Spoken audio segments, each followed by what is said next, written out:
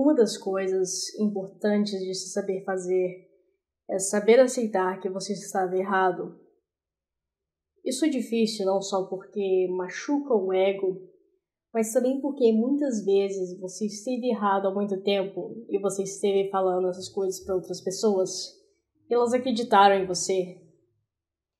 O viés do custo afundado é uma falácia lógica onde você continua fazendo algo que não vale a pena porque você sente que você investiu recursos demais nessa coisa para parar agora. Isso é aplicável a várias situações, como, por exemplo, se você percebeu que um filme é horrível, mas você continua assistindo porque você já chegou na metade, ou se você continua jogando um MMO que foi comprado pela Gamigo porque você tem essa nostalgia de como ele era antes. Eu eu não quero cair nessa falácia. Então, mesmo que seja complicado com todo o meu canal sendo uh, feito em volta de temas esquerdistas, eu estou saindo do armário e me assumindo um NCAP. O que é um NCAP? NCAP é uma abreviação de anarcocapitalista, que significa que eu acredito que os direitos pessoais de cada indivíduo deveriam ser protegidos pelo livre mercado e pela propriedade privada.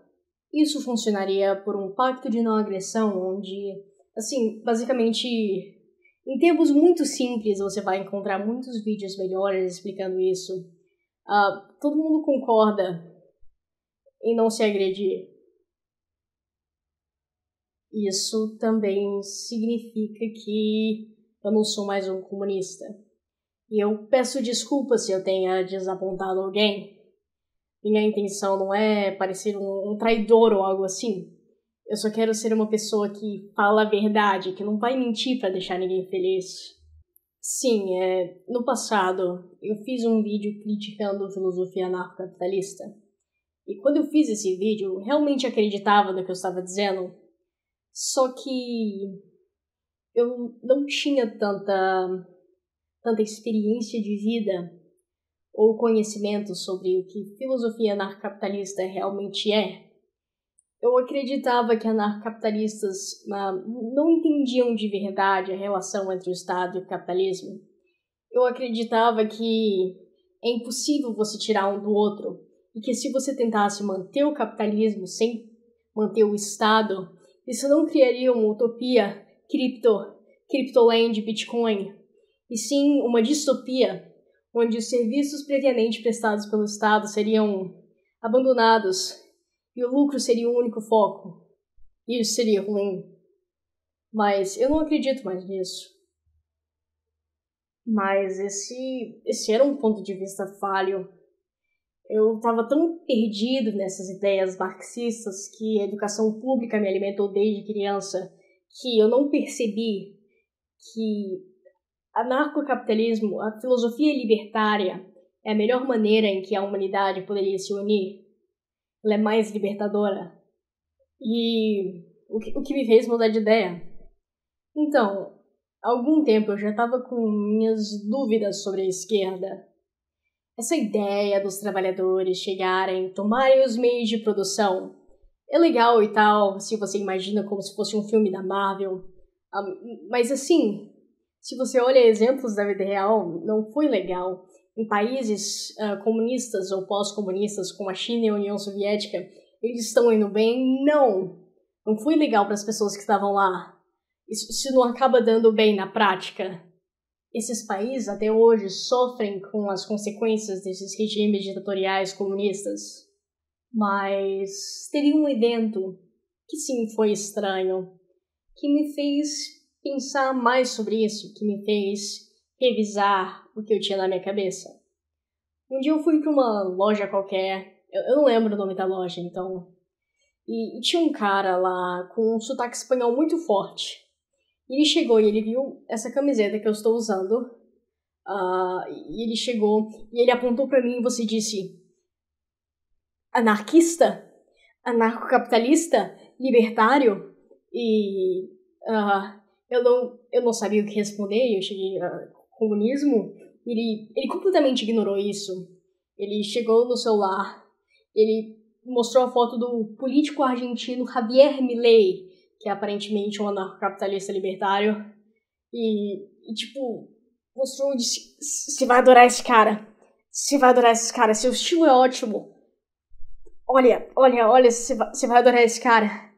E eu disse: Ok. E aí, antes de eu ter tempo de processar isso, ele chegou com a sua cópia de 1984 e me mostrou o livro e disse: Ah, eu disse. E aí eu fui embora. Mas algumas semanas depois, eu tive outro incidente uh, que também foi interessante. Eu estava no restaurante genérico de fast food e eu estava na fila para comer fast food.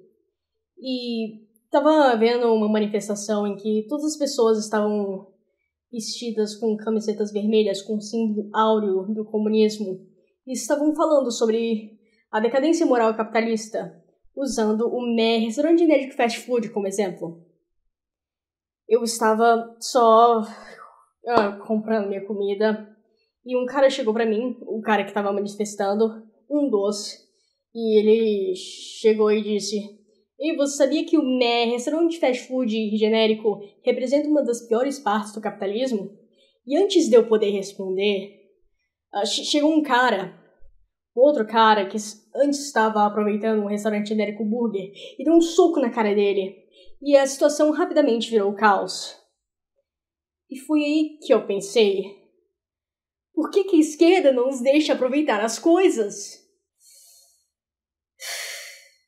E essa escolha não foi sem suas consequências.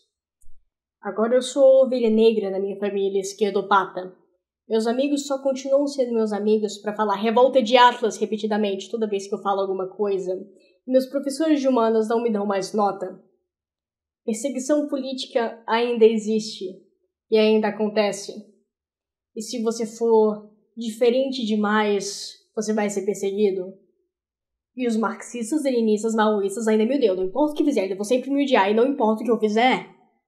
O que eu quero dizer é que não foi uma decisão fácil.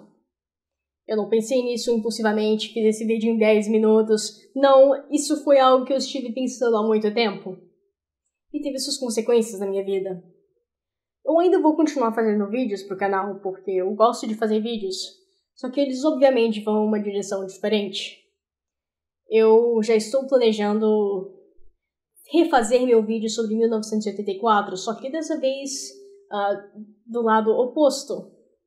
E eu também estou fazendo um vídeo sobre minha ídolo, Ayn Rand. Uh, dê like, se inscreva se você gosta de, de filosofia anarcocapitalista. E se você não gostar de filosofia anarcocapitalista, continue assistindo meus vídeos, os próximos que eu vou lançar. Talvez você mude de ideia. Até mais.